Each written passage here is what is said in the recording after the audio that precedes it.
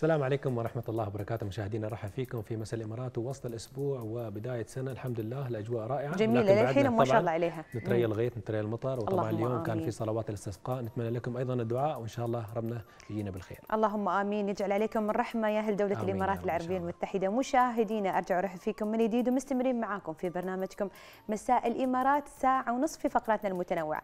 أما الحين ما بنبطأ عليكم خلينا نروح إلى أهم عناوين إلى حلقة اليوم. العروض الترويجية فخ ذكي لتصريف السلع الراكدة. تطبيق أجرة أبو ظبي الذكي في فقرة الخدمات الذكية.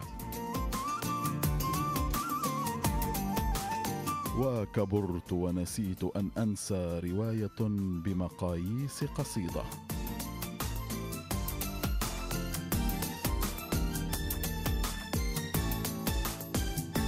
طبعا محور الكتاب هذا رح نعرفه أكيد. ونسيت وان أنسى. ماذا نسيت؟ ما أدري والله.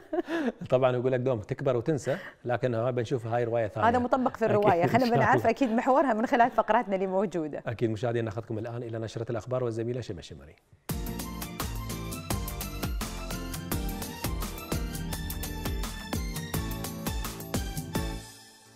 مرحبا بكم وإلى نشرة الأخبار.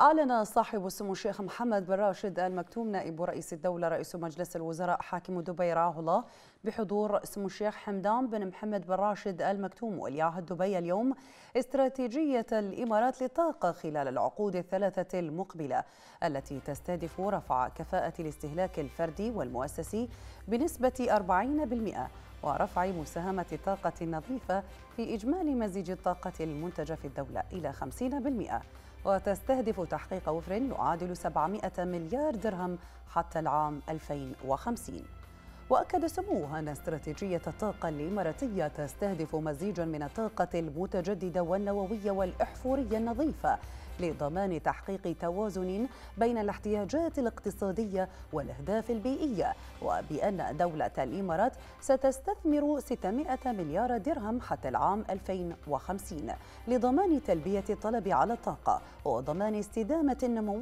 في اقتصاد دولة الإمارات. وقال سموه خلال إطلاق استراتيجية الطاقة 2050 والتي تعد الأولى من نوعها بمشاركة جميع المؤسسات والهيئات المعنية بقطاع الطاقة وكافة المجالس التنفيذية بالدولة وبإشراف الحكومة الاتحادية ممثلة بوزارة الطاقة ووزارة شؤون مجلس الوزراء والمستقبل. خطتنا الجديدة للطاقة نموذجية وتوازن بين الإنتاج والاستهلاك والالتزامات البيئية العالمية. أصدر صاحب السمو الشيخ محمد بن راشد المكتوم نائب رئيس الدولة رئيس مجلس الوزراء رعاه الله بصفته حاكما لإمارة دبي قانون إنشاء مركز إرادة للعلاج والتأهيل بهدف دعم التوجهات والسياسات العامة للدولة والإمارة في مجال مكافحة التعاطي والإدمان وزيادة الوعي المجتمعي بآثارهما السلبية وكيفية مواجهتهما. كما وأصدر سمو الشيخ حمدان بن محمد بن راشد المكتوم ولي عهد دبي. رئيس المجلس التنفيذي قرار المجلس بتشكيل مجلس إدارة مركز إرادة للعلاج والتأهيل برئاسة الدكتور عبد القادر إبراهيم الخياط. وعضوية كل من الدكتور علي محمد شاهين نائبا للرئيس وخالد راشد آل ثاني وعفرة راشد البسطي وإبراهيم محمد عبد الله ومحمد سيف المقبالي. وذلك لمدة ثلاث سنوات قابلة للتجديد. وبحسب قانون الإنشاء يتولى المركز رسم السياسات الخاصة بالعلاج وإعادة التأهيل من التعاطي والإدمان ووضع الخطط الاستراتيجية اللازمة لتنفيذها. يلغى أي نص في أي تشريع آخر إلى المدى الذي يتعارض فيه وأحكام هذا القانون ويعمل به من تاريخ صدوره وينشر في الجريدة الرسمية. يشهد صاحب سمو الشيخ محمد بن راشد المكتوم نائب رئيس الدولة رئيس مجلس الوزراء حاكم دبي رعاه الله غدا في فندق قصر الإمارات في العاصمة أبو ظبي. حفل تكريم الفائزين بجائزة محمد بن راشد للأداء الحكومي المتميز في دورتها الرابعة والحاصلين على أوسمة رئيس مجلس الوزراء الذي ينظمه برنامج الشيخ خليفة للتميز الحكومي.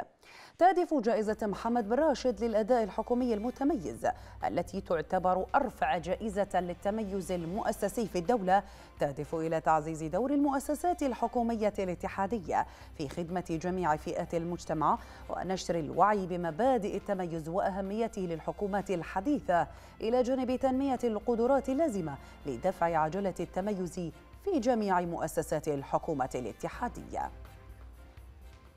تلقى صاحب السمو الشيخ محمد بن زايد آل نهيان ولي عهد أبو ظبي نائب القائد الأعلى للقوات المسلحة. اتصالا هاتفيا اليوم من دولة هوانغ كيوان رئيس جمهورية كوريا بالإنابة رئيس الوزراء. تم خلال الاتصال بحث تعزيز علاقات الصداقة والتعاون القائمة بين البلدين والشعبين الصديقين وسبل الكفيلة بدعمها وتطويرها. مما يخدم المصالح المشتركة خاصة في مجالات الشراكات الاقتصادية والاستثمارية والتعليمية والطاقة. كما تطرق الاتصال إلى العمليات الإنشائية في مشروع براكة للطاقة النووية السلمية وحجم الإنجاز الذي تم باعتباره أحد المشاريع الاستراتيجية المشتركة بين البلدين. وأعرب الجانبان عن سعادتهما بمستوى العلاقات الاستراتيجية المتطورة بين الجانبين.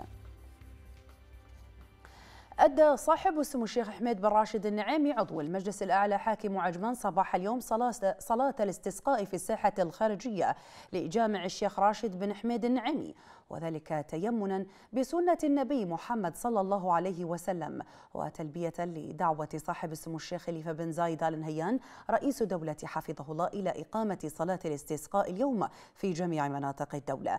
أدى الصلاة إلى جانب سموه سمو الشيخ عمار بن حميد النعيمي ولي عهد عجمان إضافة إلى عدد من الشيوخ ورؤساء ومدراء الدوائر الحكومية الاتحادية والمحلية وكبار المسؤولين وجموع المصلين من المواطنين والمقيمين من أبناء الجاليات العربية والإسلامية. هذا وتناول فضيلة الشيخ الدكتور عبد الله محمد الأنصاري من الهيئة العامة للشؤون الإسلامية والأوقاف في عجمان الذي أما المصلين في خطبته أحكام صلاة الاستسقاء التي تؤدى عند انحباس المطر. داعيا الله العلي القدير أن يغيث العباد والبلاد.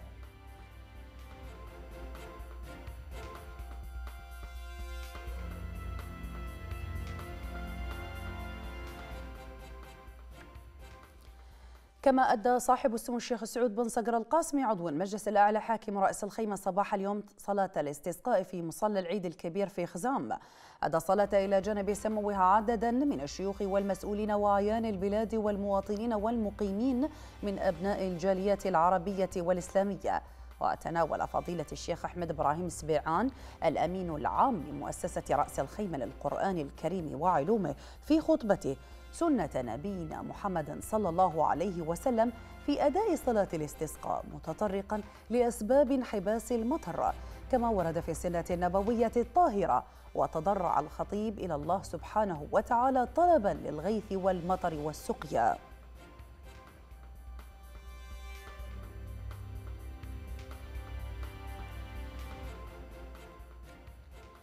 شهد صاحب سمو الشيخ سعود بن راشد المعلى عضو المجلس الأعلى حاكم أم القوين بحضور سمو الشيخ راشد بن سعود بن راشد المعلى ولي عهد أم القوين والشيخ سلطان بن حمدان بن محمد آل نهيان مستشار صاحب السمو رئيس الدولة رئيس اتحاد سباقات الهجن عصر اليوم فعالية الفترة المسائية.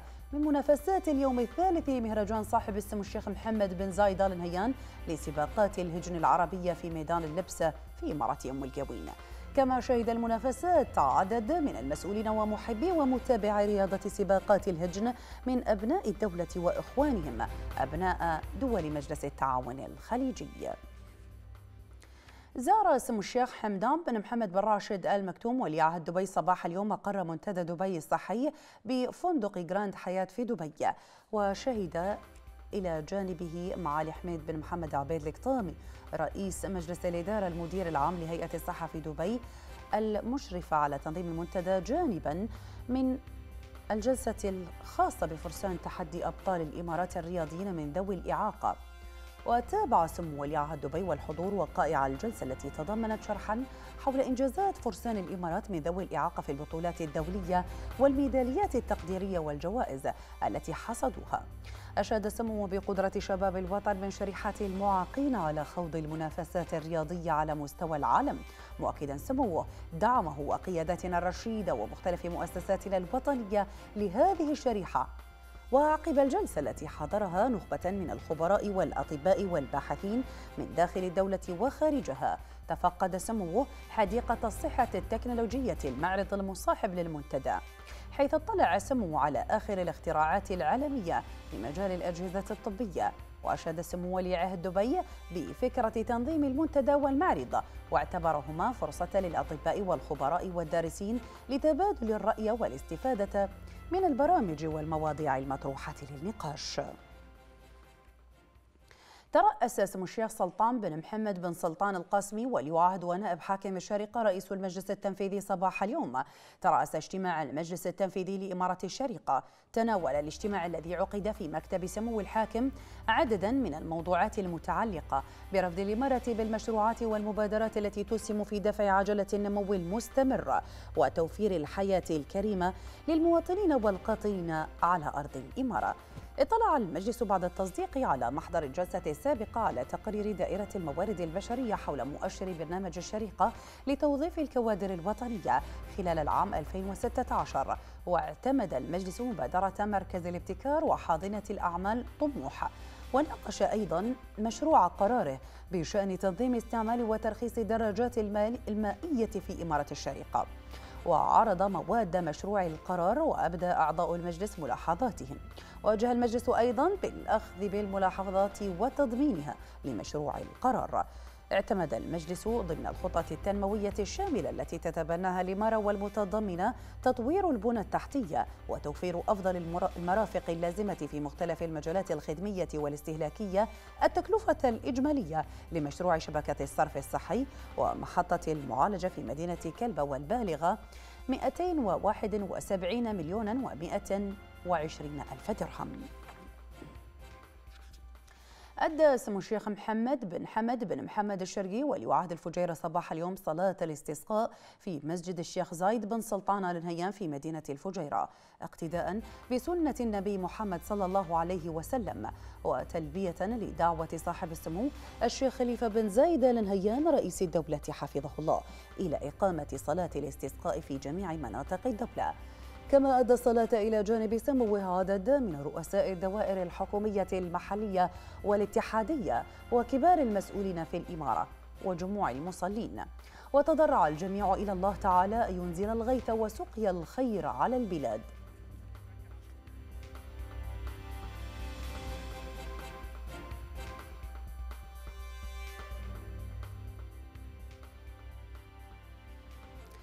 أصدر سمو الشيخ راشد بن سعود بن راشد المعلى ولي عهد أم الجوير رئيس المجلس التنفيذي اليوم قرارا بتعيين أحمد طيب محمد نائبا لمدير عام دائرة الأشغال والخدمات العامة في أم الجوين يسري القرار رقم واحد لسنة 2017 من تاريخه وينشر في الجريدة الرسمية ويعمم على الجهات المعنية كافة. ناقش المجلس الوطني الاتحادي برئاسة معالي الدكتورة أمل عبد الله الكبيسي رئيسة المجلس خلال انعقاد الجلسة الخامسة من دور الانعقاد العاد الثاني للفصل التشريعي السادس عشر. ناقش مشروع قانون اتحادي في شأن مكافحة الإغراق والتدابير التعويضية والوقائية وعدد من الموضوعات المتعلقة بعدد من القطاعات في الدولة. الزميل أيمن مصبح حضر الجلسة ووفانا بالتقرير التالي. خلال الجلسة الخامسة من دور الانعقاد العادي الثاني للفصل التشريعي السادس عشر التي عقدت في مقر المجلس في أبو ظبي برئاسة معالي الدكتورة أمل عبد الله الكبيسي رئيسة المجلس تمت مناقشة مشروع قانون اتحادي بشأن مكافحة الإغراق والتدابير التعويضية والوقائية. كما وجه أعضاء المجلس ثمانية أسئلة إلى ممثلي الحكومة تتعلق بعدد من القطاعات. آه، كان اليوم عندنا سؤال برلماني لمعالي صقر قباش وزير الموارد البشرية والتوطين بخصوص أهم اهميه وجود حسن السير والسلوك لاخواننا اللي يرافقونا في هذا الوطن. ونتأكد أن الأرقام الكبيرة اللي موجودة عندنا تكون أرقام منتقاة وناس ما عندهم سوابق على أساس أن ما يكون ننقل إشكالياتهم اللي موجودة قد تكون موجودة في دولهم إلى الدولة هذه لنحافظ على الأمن والأمان اللي موجود عندنا الحمد لله. وهذه من المتطلبات البديهية أعتقد أن نحن نطلبها. ونقلناها نحن من الشعب ومن بعض القضايا اللي صارت ورأينا أن من الأهمية بمكان أنك أنت تستورد الشخص الناجح، الشخص النظيف، الشخص اللي يكون إضافة للدولة. كما وجه سعادة العضو سالم علي الشحي سؤالا إلى معالي الوزير بصفته رئيسا لمجلس إدارة الهيئة الاتحادية للمواصلات البرية والبحرية حول آلية عمل قطار الاتحاد. تم توجيه سؤالين إلى معالي وزير البنية التحتية معالي الدكتور عبد الله بالحيف النعيمي حول آلية عمل قطار الاتحاد والانتهاء منه. فأوضح معاليه أن خلال مراحل قادمة إن شاء الله تعالى تم تقسيم المشروع عدة مراحل منها داخل الدولة ومنها خارج الدولة لأنه هو مشروع يمت بالربط الخليجي ما بين دول مجلس التعاون الخليجي لكن بالنسبة لدولة الإمارات تم الانتهاء من المنطقة الغربية وصولا إلى أبو ظبي إن شاء الله تعالى. والمراحل القادمة بيكون إن شاء الله امتدادا إلى الذيد وفي مفاصل معينة يخدم فيها هذا الجانب. كما تمت مناقشة مشروع قانون اتحادي بشأن مكافحة الإغراق والتدابير التعويضية والوقائية. ما في شك اليوم في السوق في معاناة من إغراق بعض المنتجات وبالتالي كان واجب من الحكومة أن تقوم بإصدار هذا التشريع اللي يأتي من ضمن منظومة تشريعات اقتصادية لحماية المنتجات الوطنية. القانون نظم عملية الشكاوى اللي ممكن ترفع من قبل التجار. أيضا نظم عملية التوقيت والمده الزمنيه وأنواع الاحترازات اللي تقوم فيها. ولكن أيضا أعطى الصلاحية للوزارة أن تقوم منفردة باتخاذ إجراءات احترازية وقائية في حال نما إلى علمها أو حست أن في هناك ما يهدد الصناعة الوطنية بشكل عام.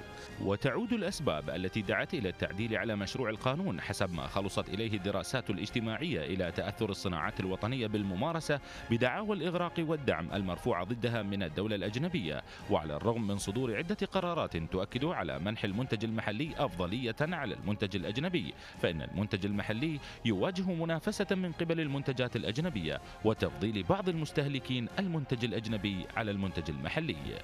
أيمن مصبح قناة الظفرة.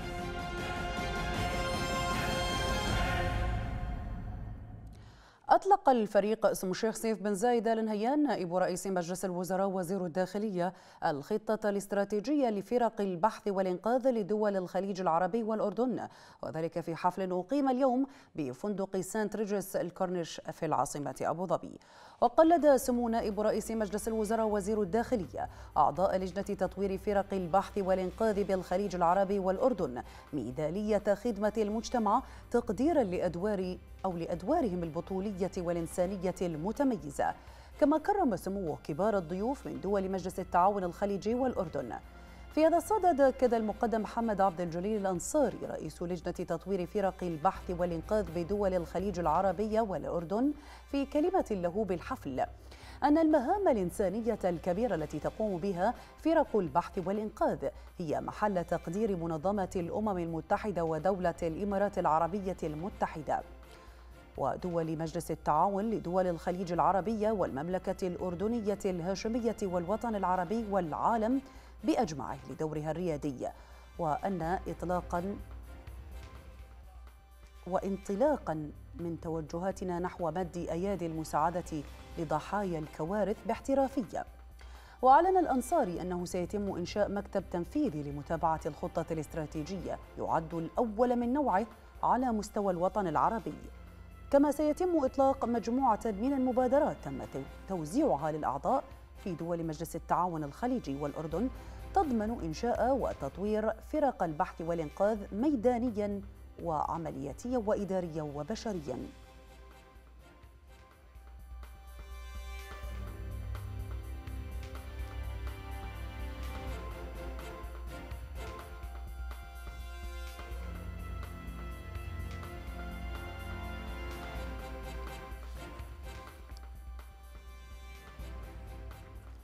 أصدر سمو الشيخ منصور بن زايد آل نهيان نائب رئيس مجلس الوزراء وزير شؤون الرئاسة رئيس دائرة القضاء في أبو ظبي قرارا بإنشاء نيابة ومحكمة السياحة أو نيابة ومحكمة السياحة في العاصمة أبو ظبي في بادرة هي الأولى من نوعها عالميا. يأتي هذا القرار في إطار جهود تعزيز المكانة التنافسية لاقتصاد العاصمة أبو ظبي من خلال ترسيخ مكانتها عالميا كوجهة سياحية مستدامة وصولا إلى المساهمة الفعالة وتحقيقا لرؤية حكومة أبو ظبي 2030 بأن تكون واحدة من أفضل خمس حكومات في العالم. في هذا الصدد أكد سعادة المستشار يوسف سعيد العبري وكيل دائرة القضاء في أبو ظبي أهمية مواكبة الخدمات القضائية والعدلية للتطور المتسارع في إمارة أبو ظبي وإيجاد بنية تحتية قضائية تلبي الاحتياجات المتزايدة لمجتمع يشهد تطورا ملموسا على الصعيد كافة. شهد سمو الشيخ عبد الله بن زايد ال نهيان وزير الخارجية والتعاون الدولي اليوم انطلاق فعالية منتدى القادة التعليميه والذي يتصدر جدول أعمال الدورة الثالثة من أسبوع التعليم التقني 2017 والتي تستمر حتى السادس عشر من شهر يناير الجاري بمختلف إمارات الدولة. وذلك تحت رعاية كريمة من سمو الشيخ الزع بن زايد ال نهيان نائب رئيس المجلس التنفيذي لإمارة أبو ظبي. وأكد سمو الشيخ عبد الله بن زايد ال نهيان وزير الخارجية والتعاون الدولي أن دولة الإمارات تزخر بالكوادر الوطنية المشرفة والمبدعة والثرية في كافة التخصصات والقطاعات العمل أو قطاعات العمل والإنتاج.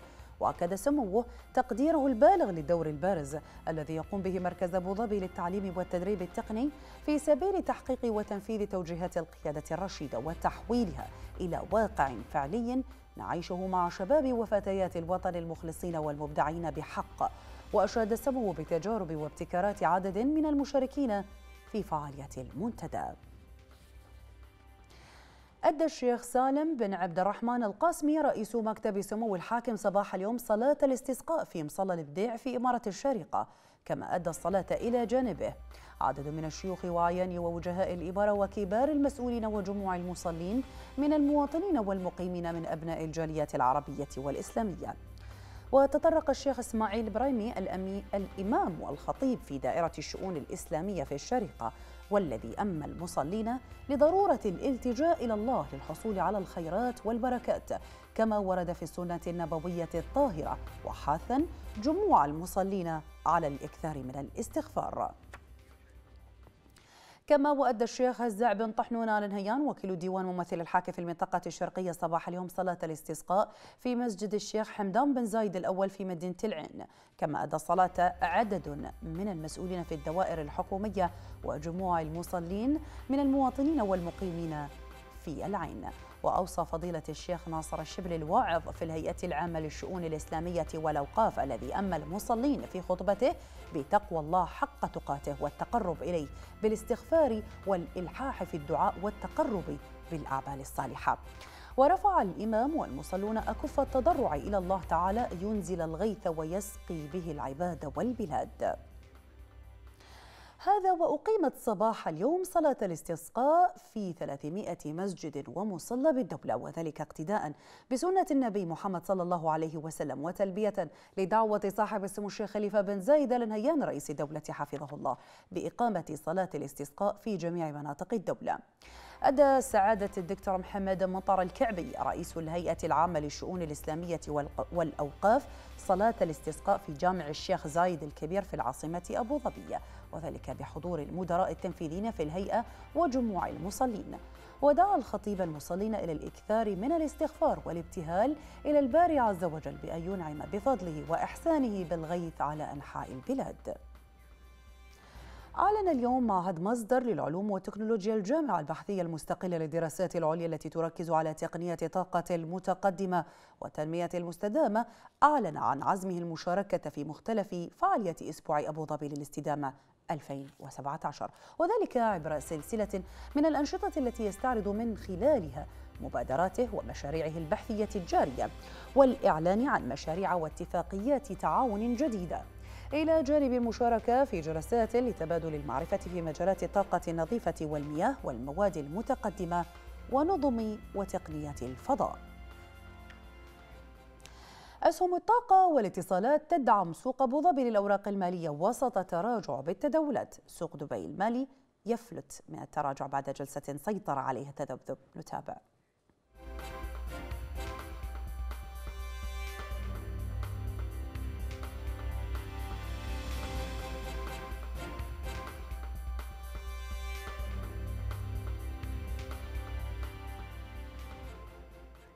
أما الآن إليكم درجات الحرارة العظمى والصغرى في دولة الإمارات والمتوقع اليوم الغد بإذن الله.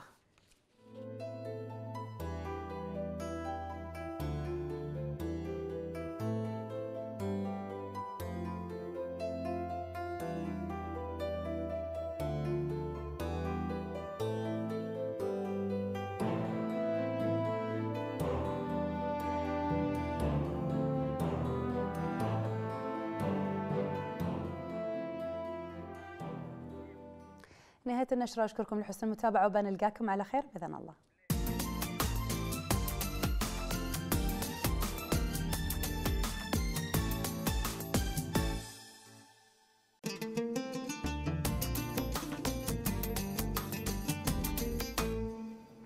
حياكم الله مشاهدينا في حوار المساء. هناك من يعتبر أن العروض الترويجية والخصومات تعد فرصة للمحال التجارية للتخلص من الماركات الموديلات القديمة أيضا الراكدة في مخازنها. تمثل هذه العروض فارق لذوي الدخل المحدود ما يجعل المستهلك في حالة ترقب وانتظار لمواسم التخفيضات والعروض الترويجية على مختلف السلع. تتعدد أيضا وتتنوع أساليب منافذ البيع في استقطاب المستهلك بطرق ذكية لهذه العروض وترى جمعيات حماية المستهلك أن المستهلك يجب أن يكون أكثر حنكة وحيطة في التعامل مع باقات العروض الترويجية وخاصة السلع الغذائية. أيضا يعني جاءنا موضوع عبر تويتر أردنا أن ناخذه اليوم من ضمن الموضوع وهو ماذا يحدث في رأس السنة وفي الأعياد في دولة الإمارات عندما ترتفع الأسعار بالنسبة للمطاعم أو الجهات المواجهة للألعاب النارية وغيرها في برج خليفة أو في قصر الإمارات وغيرها. نتحدث عن هذه الموضوعين إن شاء الله الهامين جدا اليوم معنا الأستاذ خالد الهجري مدير رقابة الفعاليات الترويجية في دائرة التنمية الاقتصادية في دبي حياك الله أستاذي. يا مرحبا حميد ومشكورين على الضيافة هذه. الله يسلمك ويعافيك نحن عندنا تقرير إن شاء الله ناخذه ونرد للحوار بإذن الله. إن شاء الله. اذا مشاهدينا للتقرير وعودة مع الأستاذ خالد تابعونا.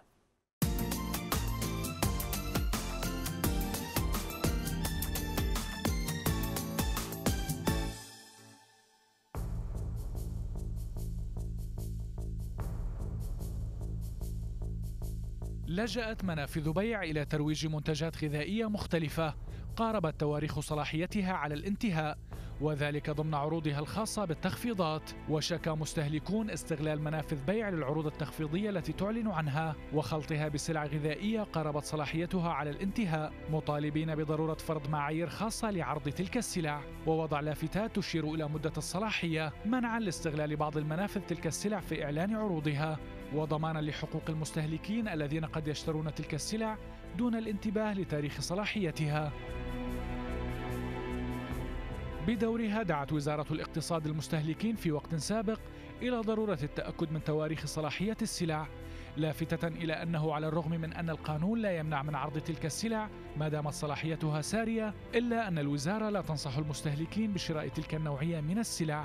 التي يتم تخزينها ولا تستهلك في وقتها. في السياق ذاته حذر أطباء ومختصون من خطورة عدم انتباه المستهلكين لمثل هذه الممارسات وضرورة إحكام وزارة الاقتصاد سيطرتها وبكل قوة على جميع منافذ البيع ورصد تواريخ الإنتاج والانتهاء والحفاظ على فترة سلامة المنتج تجنبا لأي حوادث.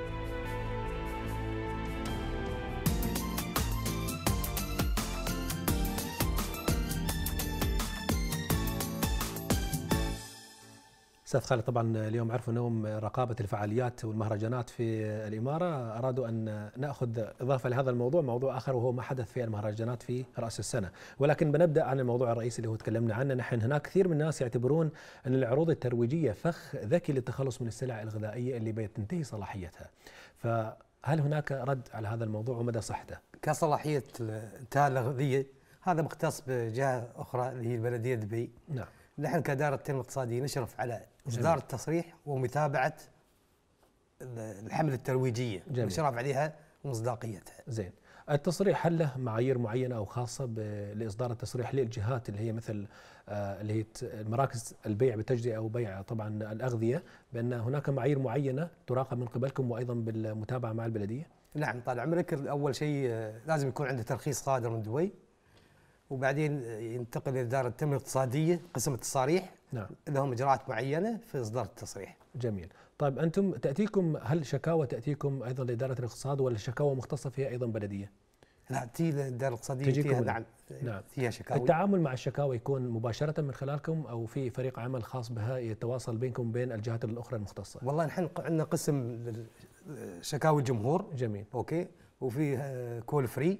لهذا القسم اللي هو 600 نعم. 5 4 5 5 5 5 زي هذا شغال على 24 ساعة وكذلك عندنا مفتشين في الميدان يشرفون على المراكز التجارية والمحلات التجارية. ما- ما- ماذا عن آه، التوعية؟ التوعية موجودة طال عمرك. نحن من ناحية التوعية اشتغلنا في شقين. الشق على الجمهور زين نعمل ورش تعليمية وشق على التجار نفسهم. جميل. نعم. طيب ضمن هذا موضوع ال- الأغذية والتعامل مع العروض الترويجية أيضا هناك عروض ترويجية كبيرة كانت في رأس السنة. فكان هناك أكيد عدد كبير من المخالفات لأن كثير من الشكاوي جاءت من الناس بأن ارتفاع الأسعار كان غير طبيعي. والله طويل العمر مش يعني العدد مش كبير على دبي. دبي ما شاء الله كبيرة. ما شاء الله. نعم وكنا لهذا الموضوع نحن جاهزين آه، قبل قبل رأس السنة. ونحن فعلا خالفنا 14 آه، منشأة. نعم. كانت مخالفة بخصوص الأسعار والحمد لله الأمور كلها طيبة يعني. زين مدى مدى ارتفاع الأسعار؟ هل كان عشوائي ولا كان يقدمون لكم على تصاريح؟ يعني يطلبوها من معكم لرفع الأسعار. لا طال عمرك في جهات حاولوا يقدمون تصاريح ونحن ما أعطيناهم تصاريح. جميل. طب الاشتراطات الملزمة للمنشآت طبعا التجارية في العروض الترويجية لمزاولة النشاط الإقتصادي في دبي ومثل هذه العروض هل في هناك اشتراطات أيضا عليهم في هذه الفترات من السنة؟ طال عمرك هاي مختصة في قسم التصاريح نحن كتفتيش نعم. نحن نتابع الترخيص بعد ما يصدر والتصريح بعد ما يصدر. نتابع النشاط يعني. زين هذه المخالفات تأثر بشكل كبير بعد عملية التفتيش. كيف تأثر في عملية رفع الأسعار؟ طال عمرك هذه المخالفات ال- تكون حد لرفع الأسعار. جميل. هي حد مانع. نعم. طب هذا الحد المانع هل يؤثر اقتصاديا على هذا المكان أو يؤثر على الم- المنطقة ككل؟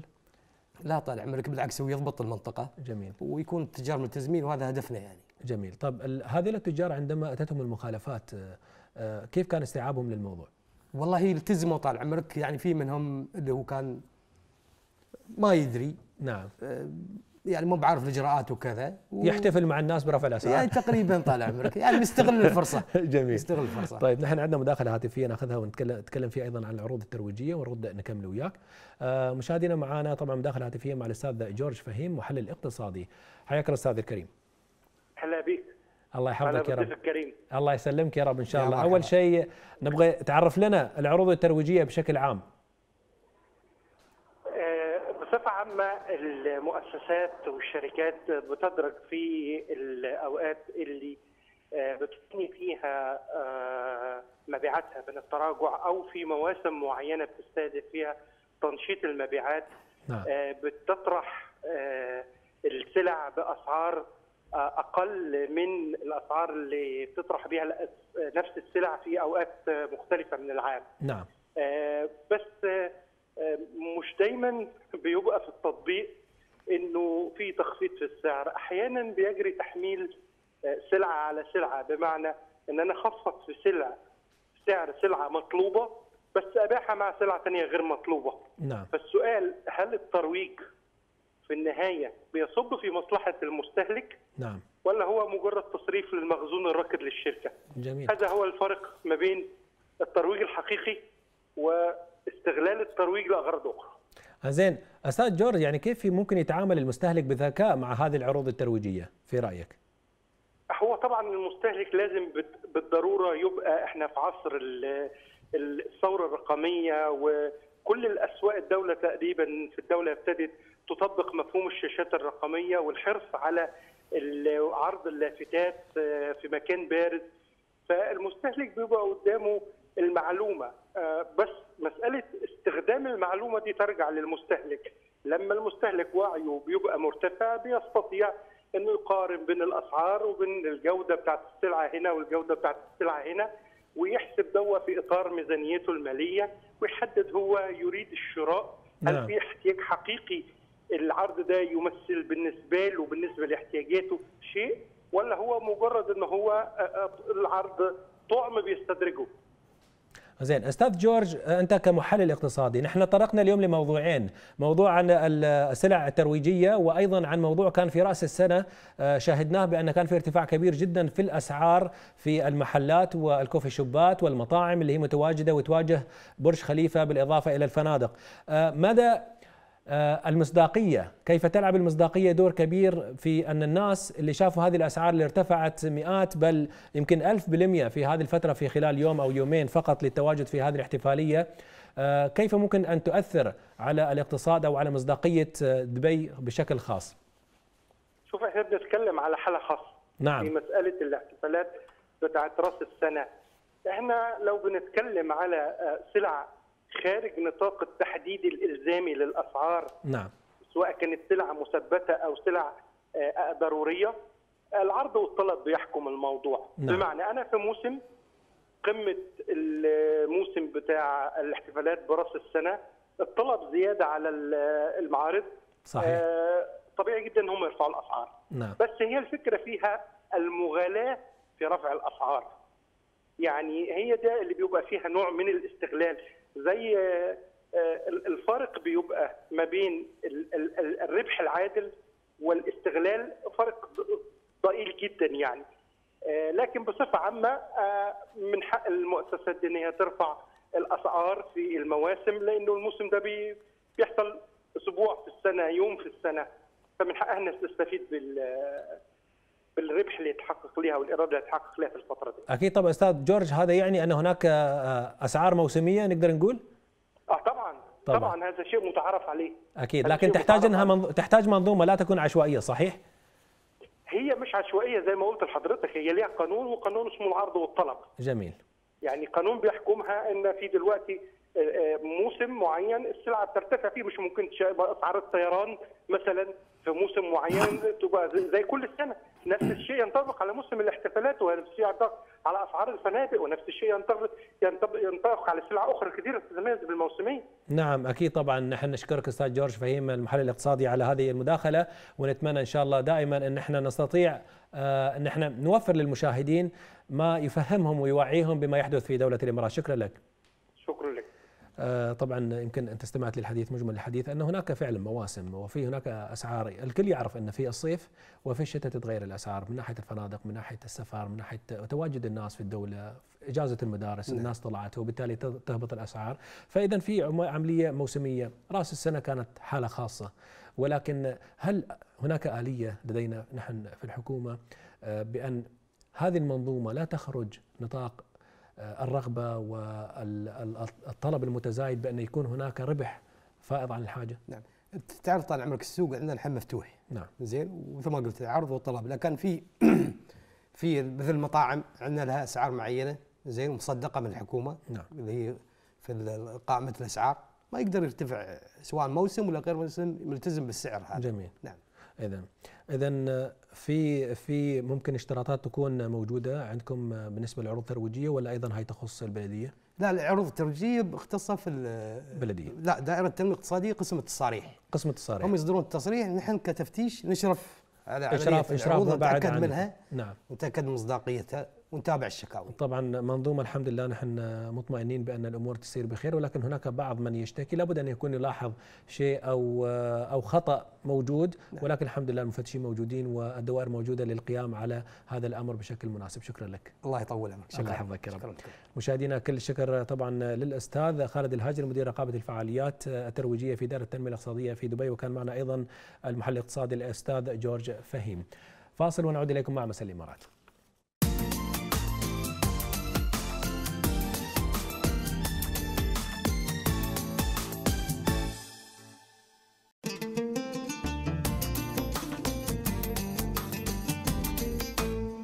تحيه لكم من جد يا مخرجنا ما لبس النظارة عبد الله.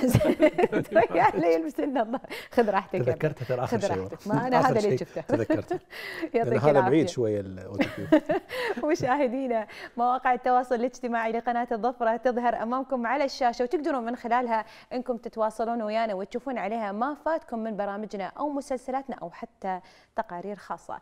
في جولتنا اليوم على مواقع التواصل الاجتماعي سنستعرض معكم أبرز المشاركات والتغريدات والصور والبداية حتكون من صفحة رسمية لصاحب السمو الشيخ محمد بن راشد آل مكتوم نائب رئيس الدولة رئيس مجلس الوزراء حاكم دبي رعاه الله. حيث نشر سموه على صفحته من موقع تويتر بمناسبة اعتماد دولة الإمارات العربية المتحدة خطتها للطاقة لثلاث عقود القادمة ما شاء الله. الأخوة والأخوات أعلنت دولة الإمارات بحمد الله خطتها للطاقة خلال الثلاث عقود القادمة والتي توازن بين احتياجاتنا الاقتصادية وأهدافنا البيئية. بالتوفيق إن شاء الله. إن شاء الله يا رب. اختتم سموه أيضا مجموعة تغريداته بمن لا يفكر بالطاقة لا يفكر بالمستقبل والحكومة حققت إنجاز بصياغة أول استراتيجية موحدة للطاقة في الدولة. وما زلنا في تويتر ومن الصفحة الرسمية للفريق سمو الشيخ سيف بن زايد آل نهيان نائب رئيس مجلس الوزراء وزير الداخلية حيث غرد سموه بأطلقنا من جامعة زايد اليوم مبادرة أقدر أقود بأمان لتعزيز مفاهيم السلامة المرورية خاصة عند أبنائنا وفلذات أكبادنا بالتعاون مع شركة نيسان. وأرفق سموه مع هذه التغريدة مقطع فيديو خلينا نشوفه إن شاء الله نرجع لكم. مو شايفة من الليل.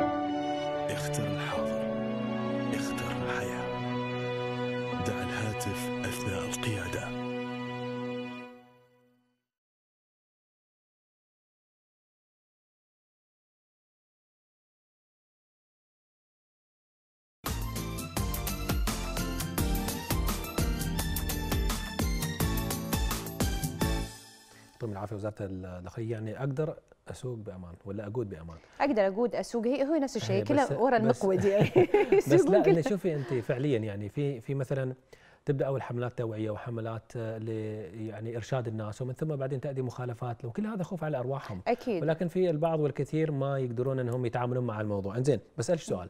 تفضل. آه يوم الأهالي يهربون يعني في البيت أو هذا وين توقعين الصغارية هذه؟ القوم سنة سنتين.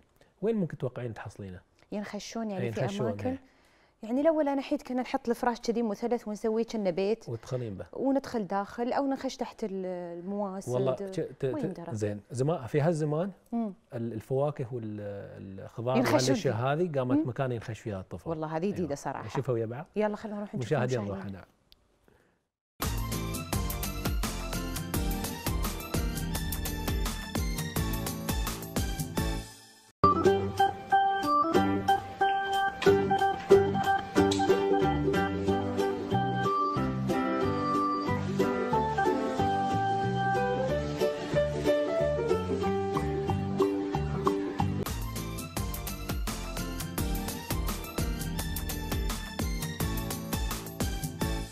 هذا يعشق البطيخ. يشبه علاء اللولو.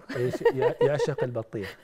أكيد. بالعكس وايد مفيد البطيخ هي طبعا يعني أكيد. أنا واحدة من الناس أحب لا وبعد جالس ما شاء الله وياكل يعني يعني طيبة الرجال بس يبغى ثلاثة بواحد. سياحة تمشي وأكل. ماخذينهم بالثلاثه مع بعض. زين عبد الله الحين أنا عارفه أن اليهال عامة يسمعون موسيقى ممكن يترقصون أو يهزون. زين. بس في نوع اهتزاز من طريقة أخرى سووها زلزال يعني؟ مثلا أوكي. بس من زلزال بطريقه أخرى بنظرية ثانية. تحب تشوفها؟ نشوفها نروح. طيب مشاهدينا خلينا نشوف الاهتزاز هذا شو كان سببه.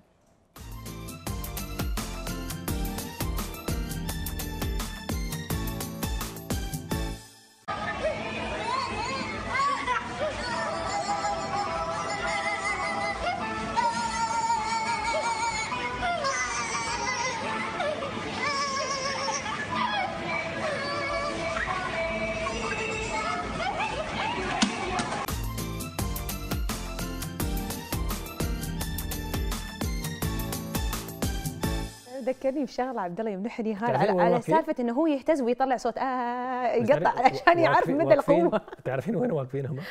هاي مالت ظنيت الآلة الجديدة مالت تنحيف الوزن اي تنحيف هاي سبحان الله. وطاحوا المساكين آخر شيء. بس اهم شيء مستانسين. اي لا يقول لك آه يطلع ذكرني بعمري وأنا صغيرة. الله يعطيهم العافية. مشاهدينا من هاي الضحكات ناخذكم إلى أخبار الصحف واهم عناوين وأخبار الصحافة صدر اليوم الثلاثاء الموافق 10 1 2017 نبدأ جولتنا الصحفية بصحيفة الاتحاد. جموع المصلين تؤدي صلاة الاستسقاء. في جامع الشيخ زايد الكبير. اللهم اجعلها رحمة على دوله الامارات اللهم آمين. ونطالع في الرؤيا أسر تتناسى أطفالها في المستشفيات. آباء يهجرون موالدهم المعاقين. ودعوات إلى الإلزام بالتسليم. أما في الإمارات اليوم متعاملون تجزئة الشيكات الضمان للقروض تعرضنا لتعدد القضايا حال التعثر. أما في الخليج الرياضي فنقرأ بعد تجاوزهما الجزيرة والوصل الأهلي والشباب في نهائي كأس الخليج. موفقين إن شاء الله. موفقين إن شاء الله. ونطالع في البيان أيضا في أكبر ضبطية من نوعها اقتصادية أبو ظبي تصادر 500 ألف قطعة غيار سيارات مغشوشة بقيمة 15 مليون درهم. والله وايد. ما شاء الله. وايد. طيب ومن أخبار الغد نطالع في الإمارات اليوم الرحومي.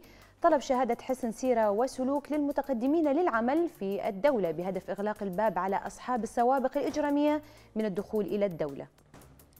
مشاهدينا إلى متعة القراءة حيث تدور أحداث رواية كبرت ونسيت أن أنسى. للكاتبة بثينة العيسى حول فاطمة واللي تزوجت بها الأحداث عفوا اللي زجت بها الأحداث لتعيش تحت رعاية أخيها غير الشقيق. بعد حادث موت والديها الأمر اللي جعل حياتها تنقلب رأسا على عقب. من هنا بدأت مأساتها. ومن ذاك السرداب بمشغل التكييف اللي يئن دائما مثلها بناخذكم إياه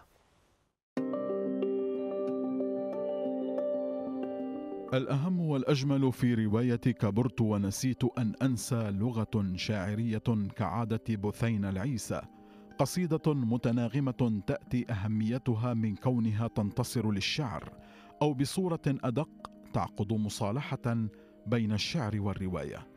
من هنا على الإنسان أن يدافع عن الشيء الذي يحبه ويرى فيه نفسه ولا يتركه بسبب تسلط الآخرين وعادات وتقاليد المجتمعات المليئة بالأخطاء والتي لا تسمن ولا تغني من جوع. كبرت قالوا لي دائما تكبرين وتنسين. عندما سقطت وشج حاجبي عندما أجبرتني معلمة الرياضيات على الوقوف ووجهي للحائط لأنني نسيت أن سبعه ضرب ستة يساوي 42 عندما انكسرت دراجتي ولم يشتروا لي أخرى لكي لا أكسرها. عندما انكسرت زجاجة روحي. عندما مات والداي. عندما لم أمت أنا. عندما كان العالم كثيرا وأنا وحدي. عندما نحر أخي دميتي لأن الباربي حرام وشطب قناة سبيستون لأن البوكيمون حرام عندما خلع صورة أمي وأبي من البرواز ودفنها في الدرج المكسور. ألقيت رأسي على الوسادة وصدري مضطرب وكأنني ركضت أميالا، أنفاسي تتلاحق ونظري يزوغ. ألهث بعد رحلة مستحيلة كمن يعود من معراج. ذهب البراق وتركني وحيده. لقد رأيت ما رأيت ولم يصدقني أحد. كنت بين الغبطة والذعر وبصوت هامس ومنتش صرت أردد. لقد كتبت قصيدة. لقد كتبت قصيدة. ماذا سأفعل الآن وقد كتبت قصيدة؟ يجب أن أحمي هذا الكائن الصغير الهش والقابل للكسر. يجب أن أحافظ على حياته مهما كلف الأمر. إذا اكتشف صقر وجوده إذا اكتشف علاقتي الجديدة باللغة سوف يفسدها سوف يخنق قصائدي ويسرق عصافيرها سوف يلوثها بيده التي تفوح منها رائحة السمك سوف تموت أحرفي بمجرد أن يطلق وراءها عينيه الكلبيتين الباحثتين ابدا عن شواهد الخطيئة. كنت أريد الدراسة في كلية الآداب. ولو لم يتوفى والداي لكان ذلك ممكنا. عشت شهورا طويلة ارقه قلقة أفتش عن طريقة لإقناعه بالموافقة. بكيت في الصلوات ونذرت النذور. قلت يا إلهي امنحني هذا الشيء الصغير. امنحني مقعدا في كلية الآداب. فأنا أحتاج إلى شيء جميل واحد في حياتي. شيء واحد أحصل عليه بملء رغبتي. يا حي أحيني.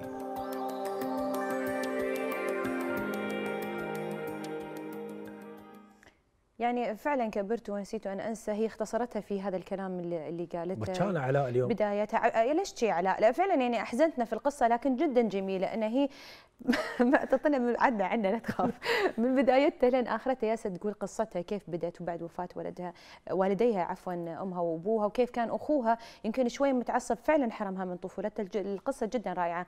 أنا أشكرك عليها. راح أقراها مع إنها حزينة لكن عسى أن يكون فيها عبرة. مشاهدينا خلينا نروح معكم إلى الأخبار الاقتصادية.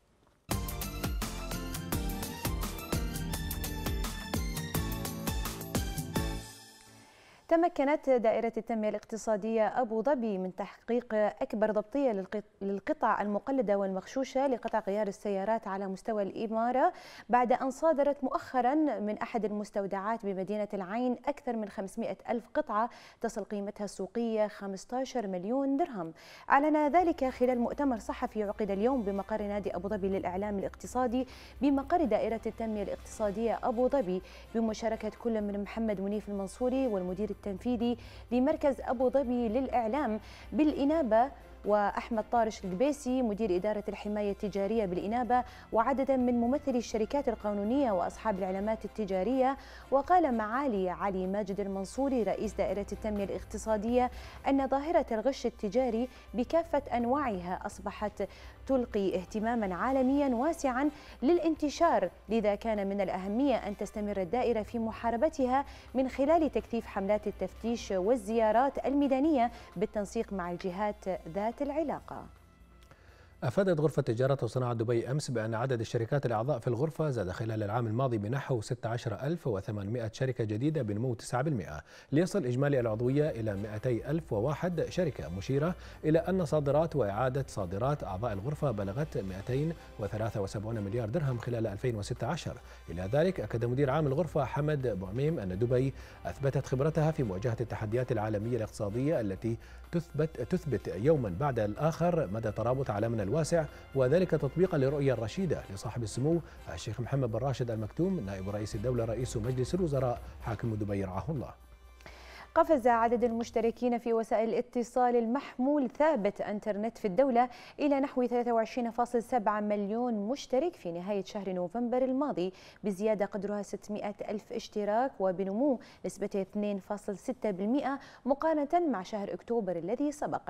وذلك بحسب أحداث أحدث الإحصائيات التي أصدرتها هيئة تنظيم الاتصالات أمس وتظهر الإحصائيات ذاتها أن عدد الاشتراكات في الهاتف المحمول ارتفعت إلى 20 مليون و153 ألفا و522 اشتراكا في نهاية نوفمبر الماضي بزيادة قدرها 545 ألفا و233 اشتراكا بالمقارنة مع شهر أكتوبر. وقفزت نسبة الانتشار للخدمة إلى 233 اشتراكا لكل 100 نسمة. مشاهدينا كانت هذه الأخبار الاقتصادية فاصل ونعود مع الملتقى بإذن الله.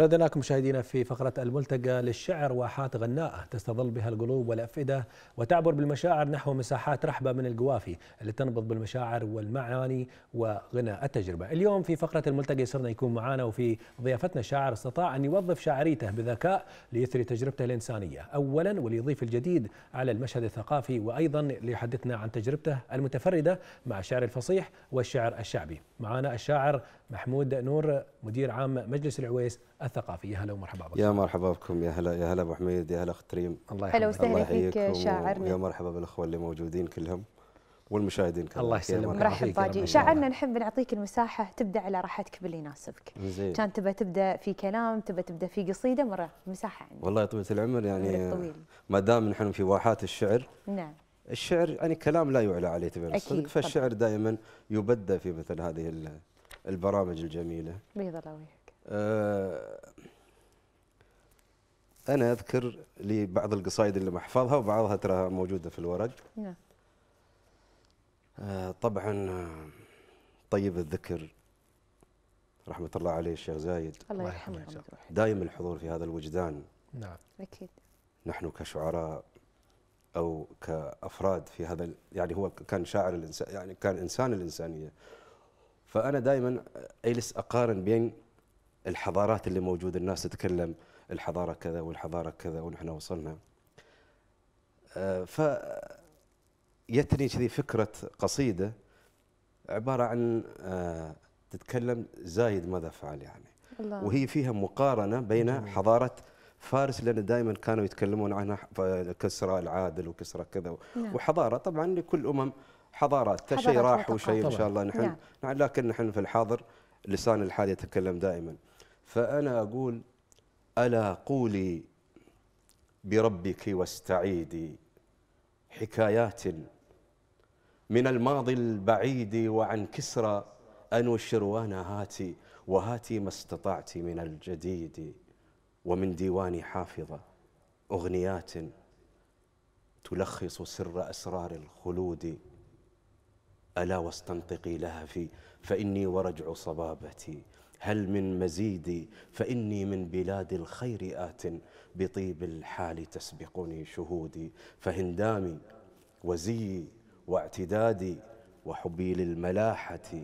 ثم جودي أنا من أرض زايدة إن تباهي أباهي كل مجد في الوجود. أنا من أرض زايدة إن تباهي أباهي كل مجد في الوجود فزايد قد بنى وطنا وشعبا وألهمنا الحياة بلا حدود وأورثنا الكرامة والمعالي وأورث مجده شبل الأسود خليفة ابن زايد ابن سلطان مو في العهد للعهد الرشيد. يؤلف بيننا في كل شأن فكان الود غاية كل جود. ولو صيغت محبتنا قصيدا فزايد في العلا بيت القصيد ولو صيغت محبتنا قصيدا خليفة في العلا بيت القصيد فما كخليفة في الناس حي وليس كمثل زايدة من فقيدي نعم. وسلامتكم. الله يسلمك. صح لسانك شاعرنا ما شاء الله عليك. وفعلا الواحد يعني قد ما يقدر يعني يبين في قصيدة يتم آه يعني راح نقول مهما كتبنا نحن في زايد الله يرحمه. ويجعل متواهل الجنة. اللهم آمين. نحن نعم. بعدنا مقصرين لأن مثل هذه الشخصية لن تتكرر في التاريخ ابدا طبعًا. طبعًا. الله يرحمه ويغمد روح الجنة. نروح على بدايات إيش رأيك؟ خلينا نعرف هذه القصيدة كلها من وين نعم. المنبع وين بدأ؟ والله طويل العمر طبعا الإنسان في نشأته. يعني في أمور أحيانا ترى أنت ما تقدر تشعر بتكوينها فيك يعني. صحيح. خاصة المواهب حد تلقى عنده موهبة رياضية حد فنية حد غنائية كذا. لكن هذه مع الوقت تحتاج إلى إنك أنت في البداية تستكشف نفسك قبل صحيح. لا إنك أنت حد يكتشفك أو أو حد يرعاك فأنا أذكر كان لي اهتمام كبير في اللغة العربية أيام الدراسة مع إني أنا دخلت قسم علمي لكن كان يعني آه، ميولك؟ ميولي وحبي للغة كان ظاهر في في في دروس التعبير جميل. في دروس اللغة كذا إلى آخره. وأنا أذكر أول قصيدة نشرت نشر مش إنها كتبت نشرت نشر وأنا في الثاني ثانوي. كان عمرك يعني 16 سنة. 16 16 ثاني ثانوي 16 لكن قبل هاي يعني أكيد في في في محاولات. في نوع من التكوين في نوع من الدربة كذا في محاولات قبل هذه القصيدة. لكن هذه البداية اللي أنا أذكرها ونشرت في مجلة المدرسة ذيك الأيام. ولا تقولوا لي شو هي؟ ما أتذكرها. زين. زين. طب إذا تكلمنا كيف استطاع الشاعر محمود أن يعني يجمع بين القصيد الفصيح والعامي؟ شوفي طال عمرك أيضا في هذيك الفترة أنا أذكر كان هناك برنامج مجالس الشعراء. اذكر أنا بعد يعني ثاني ثانوي ثالث ثانوي وكان الله يذكره بالخير آه، أخونا الشاعر الكبير محمد سعيد بالهلي كان هو يقدم برنامج مدارس الشعراء.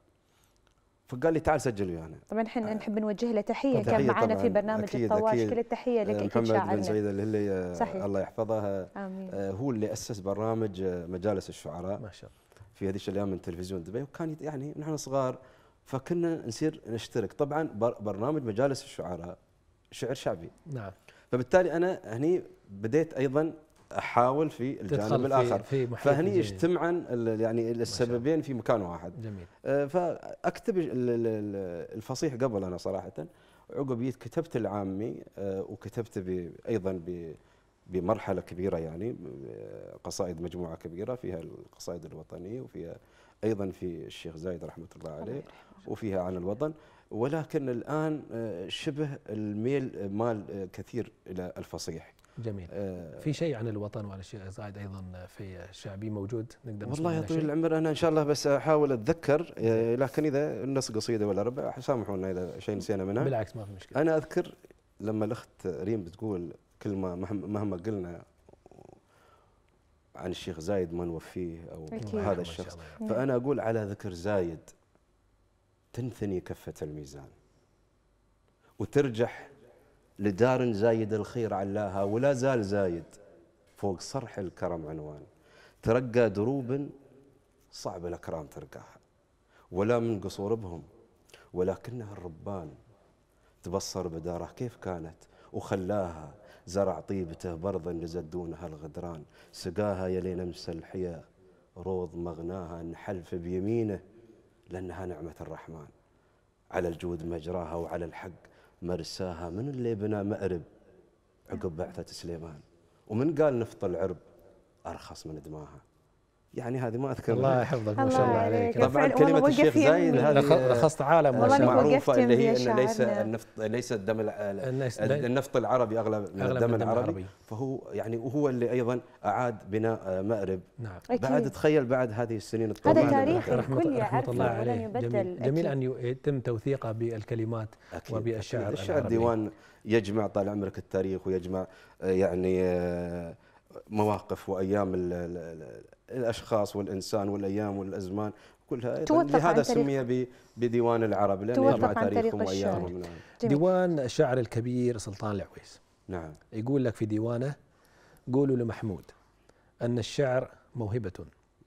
أعطيتها فدع الأنغام تتصل. ما بين أفئدة بالحب ناعمة وبين أفئدة تكوى وتشتعل. الله. أيوه. أه، طال عمرك أه، سلطان العويس رحمة الله عليه. الله يرحمه أه، يعتبر أيضا معلم الله يرحمه إن شاء الله. رحمة الله عليه هو توفى في عام 2000 طبعا أياديه البيضاء معروفة. وأنا أذكر حتى نعي ديوان الشيخ زايد هذيك الأيام. نعى يعني العبارة كانت ينعى ديوان صاحب السمو الشيخ زايد بن سلطان آل نهيان. رجل الخير والثقافة نعم. سلطان بن علي العويس. الله يرحمه. فهذه الصفة أخذها من ذلك الكبير. نعم. فهذا كان هذا يعني مسماه أصبح رجل الخير والثقافة سلطان بن علي العويس. هذا الرجل كان له فضل كبير أيضا في تجربتي الشعرية. آه لأنه شاعر فصيح. ولما يعني التقينا وسمع فصيحي أنا أيضا صار نوع من الألفة. البعيدة عن كل المصالح. جميل. فكنا متلازمين تقريبا طول معرفتي فيه من ال 85 إلى 2000 يعني مدة طويلة.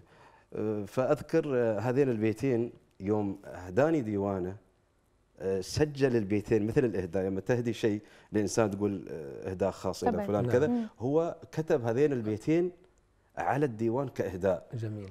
وبعدين في الطبعة الكاملة لقصائده دخلهم في الديوان. يعني هي كان أساسا إهداء. يعني هن لأن بس أنت لأن يبتن بداية بالهذا هي قولوا لمحمود إن الشعر موهبة نعم. أعطيتها فدع الأنغام تتصل.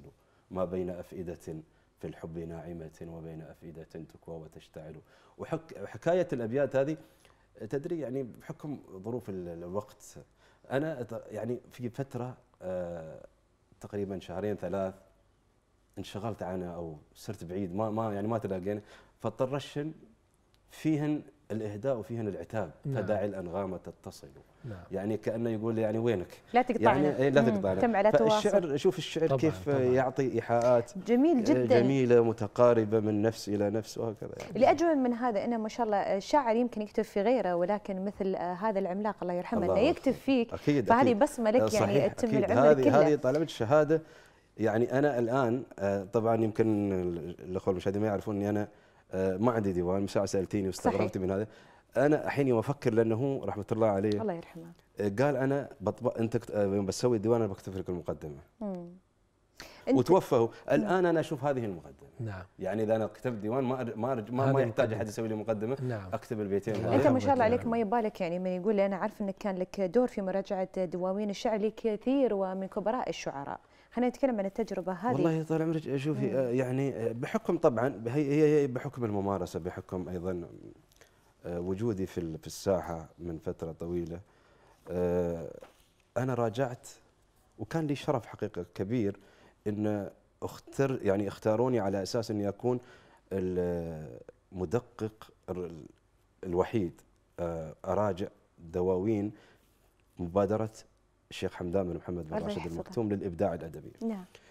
طبعا الشيخ حمدان بن محمد الله يحفظه ويرعاه مبادراته مستمرة طبعا.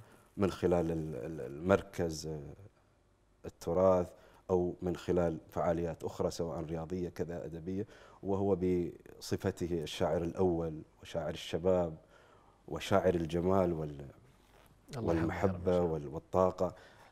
دائما يهتم بعمل إصدارات ومبادرات. فهو الله يحفظه طلع مبادرة قال لطباعة 100 ديوان. بين هو الطباعة مقصود منها بين مسموع وبين مطبوع. فوقع الاختيار علي أنا إني أنا أراجع كل الدواوين المطبوعة نعم. قبل أن تتجه إلى المطبعة. طبعا أنا راجعتني 13 ديوان.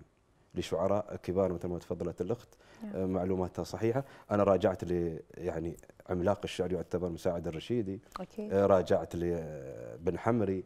راجعت ل يعني أنت مرجع لوحدك ما شاء الله عليك. فأنا أنا القصد هنا طال عمرك لأن الشعر خاصة الشعر الشعبي. الشعر الشعبي لأنه ما له قواعد إملاء وله مصطلحات مصطلحات وما له قواعد إملاء فبالتالي أنت يعني ممكن الشعر الفصيح أنا أعطي أي مصاح مدقق لغوي في جريدة ويصلح صحيح. لكن هذا اللي حصل إنه دائما الشعر الشعبي خاصة في المجلات يعني تقع في أخطاء إملائية. ما لها داعي. من تنوين مو في محله نعم. من حذف حرف من تشبيك حروف فهذه الأمور بحكم إني أنا أيضا كنت سابقا في كثير من مبادرات صاحب السمو الشيخ محمد بن راشد المكتوم اللي تخص الشعر. كنت أيضا في لجان آه سابقة آه يعني معنية بمراجعة قصائد أيضا. فمرت علي آلاف الأبيات. طبعا ما شاء فهذه الله. أعطتني أيضا دربة كاملة صحيح. وأصبحت يعني مثل ما تقول يعني يوم واحد حتى الشعراء الكبار ليش الشاعر ترى شاعر. طبعا. في النهاية هو لما بيطبع يعني هو مش طباع وإذا بغى حد يراجع هذا شيء طبيعي جدا يعني هذا ما تقلل من أكيد من لا لا من طبعا من أكيد. هذا فهذا الشاعر الحريص دائما يبحث عن أن ديوانه هذا يطلع بشكل سليم نعم. بشكل صحيح مشكل تشكيل صح الكل إنسان يقدر يقراه مو بان واحد يلخبط فيه فهذه هذه أيضا الحمد لله نعم رب العالمين وأشكرهم على هذه الثقة. والله أكيد. يحفظهم لنا دائما. نحن صراحة نشكرك على تلبيتك لدعوتنا ووجودك معنا اليوم. للأسف نحن يمكن الوقت مر علينا بسرعة ما قدرنا ناخذ مزيد من من الأشعار ولكن وصلنا لنهايه الحلقة. نعم. فعلا نشكرك على تواجدك معنا اليوم. نحن جلسنا جلسة نعم. ليست شعرية وإنما أيضا ثقافية. تسلم يعني مفعمة بالحيوية ومفعمة باللغة العربية. شكرا لتواجدك معنا اليوم. شكرا. لوجودك معنا أكيد. مثل ما تعرفون مشاهدينا كان معنا الشاعر محمود نور مدير عام مجلس العويس الثقافي كان معنا في فقرة الملتقى. بنروح معاكم مشاهدينا في فقرة الخدمات الذكية لهذا الأسبوع. التقينا مع الأستاذة خولة غريب الظاهري من مركز تنظيم النقل بسيارات الأجرة وحدثتنا عن تطبيق أجرة أبو ظبي الذكي. خلينا نشوف هذا التقرير ورد لكم مرة ثانية.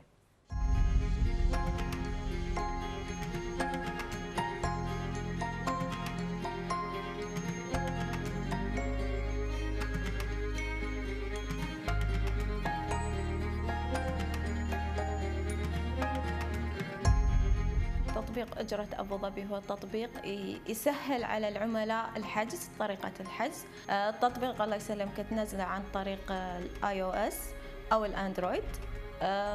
جدا بسيط ينزل التطبيق. الرقم الهاتف الشخصي.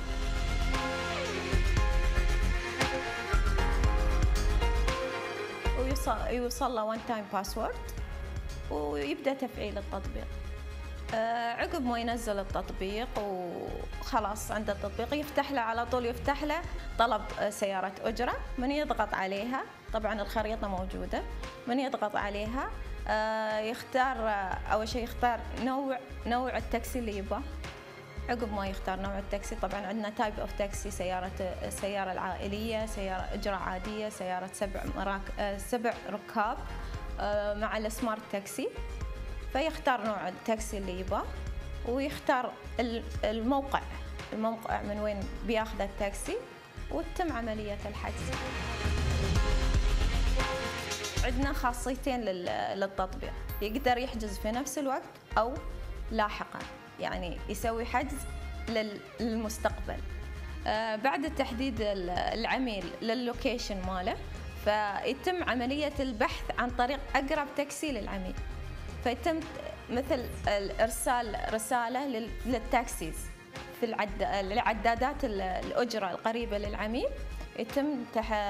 يعني إرسال الرسالة أن هناك customer في هذه المنطقة فأقرب تاكسي يوافق على الرساله وتتم عملية الحجز. فيوصل العميل مثل في ال application يوصل له أن رقم السيارة الفلانية ورقم ال driver الفلاني كل معلومات ال driver للعميل ويقدر عن خلال التطبيق نفسه يتصل في ال driver. تطبيق أجرة أبو ظبي هو تطبيق متميز والهدف منه الهدف الأساسي هو إسعاد الجمهور.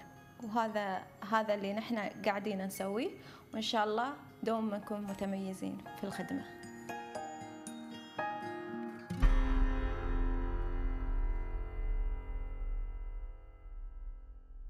يعني شوف ما بتشوف ناس تسوي تاكسي تاكسي الموضوع خلاص لا تاكسي نفسها. تاكسي على التليفون. طبعا يعطيهم العافية ويوفرون كل السبل لاسعاد كل من يتواجد في دولة الإمارات العربية المتحدة من كافة التسهيلات طبعا أسعد شعب بإذن الله هي الامارات دوم في العلالي وفي المركز الأول. مشاهدينا وصلنا لنهاية الحلقة. نشوفكم باكر في أمان الرحمن. منا لكم أجمل تحية تصبحون على ألف خير.